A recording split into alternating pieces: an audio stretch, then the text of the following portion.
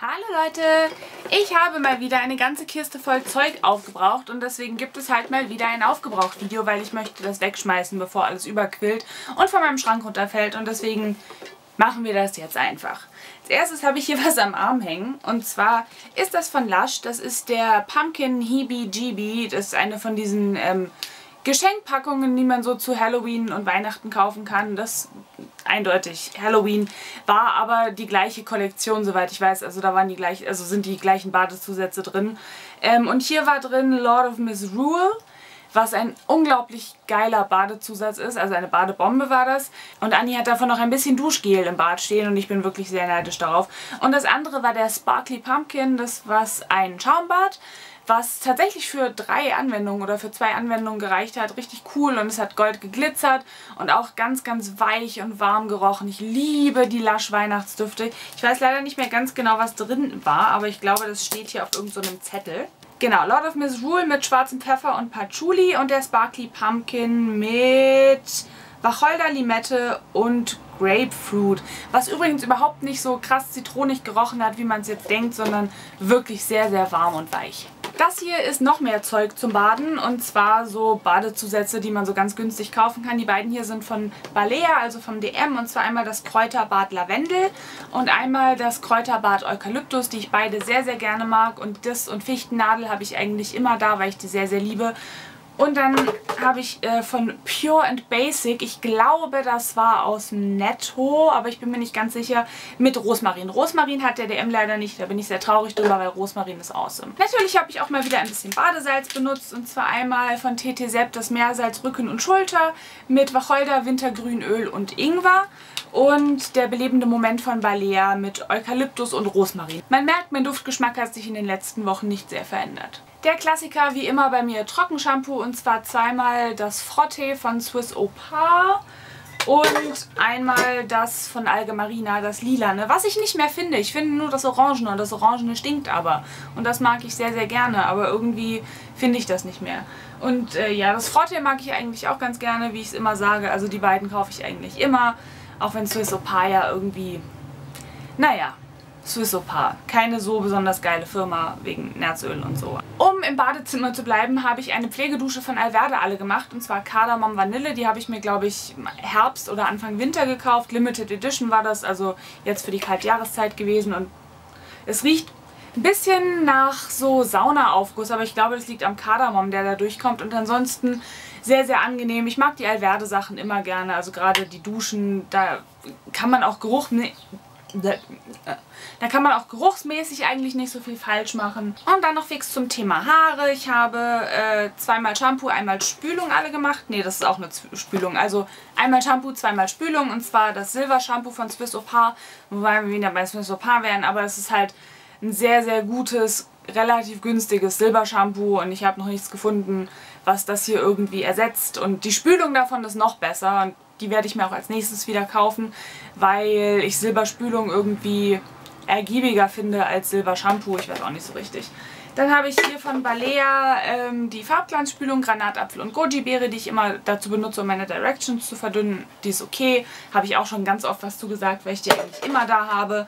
Und hier ähm, zu der Repair- und Pflegeserie von Balea Professional muss ich eigentlich auch nichts sagen, weil ihr wisst, dass ich die Balea Professional Sachen einfach gerne habe, weil sie günstig sind und trotzdem sehr, sehr gut für die Haare funktionieren. Zumindest bei mir. Ja, auch das hier kommt aus dem Badezimmer. Ich habe wirklich sehr viel Badezimmerzeug leer gemacht. Und zwar ist es einfach eine Handseife von Alverde mit Lavendel und Malve. Lavendel und ich, wir sind Bros. Ja, Nina, Lavendel und ich, wir sind die besten Bros der Welt. Und oh, es hat so, so gut gerochen. Momentan habe ich aber was ein bisschen sommerlicheres. Ich habe eine Rhabarberseife momentan. Aber äh, ich werde mir garantiert auch irgendwann wieder die hier nachkaufen. Oder die mit Lame äh, Limette oder Bergamotte. Ich glaube Bergamotte war das andere, was auch sehr, sehr geil war. Dann habe ich zwei Deos und zwar einmal von CD die große Freiheit. Ich mag die CD-Deos sehr gerne. Sie sind natürlich nicht so gut wie Deos mit Aluminiumsalzen, also sie sind halt keine Antitranspirante. Aber es funktioniert trotzdem ganz gut. Also erstaunlicherweise hat es, selbst wenn ich ein bisschen mehr geschwitzt habe auf Arbeit, ganz gut geholfen. Und der Duft hier ist halt so ein bisschen maritim, frisch, sehr, sehr angenehm. Ich kann ihn nicht immer haben, aber ich bin bei Deos sowieso picky und ein Deo, was ich immer benutzen kann, ist halt das hier, das Dove Original, was super, super funktioniert gegen Schweißgeruch, was ich über alles liebe. Ich liebe den Duft, der ist so schön seifig und sauber und ah, ja, hat leider Aluminiumsalze und Dove ist, soweit ich weiß, auch nicht gerade tierversuchsfrei, deswegen versuche ich das ähm, nicht mehr zu kaufen, auch wenn ich das als Deo wirklich vermissen werde. Aber wer will schon Brustkrebs und wer will schon Tierversuche unterstützen? Ich nicht unbedingt. Deswegen, naja. Noch was zum Saubermachen habe ich vergessen. Und zwar habe ich von CD den milden Reinigungsschaum alle gemacht.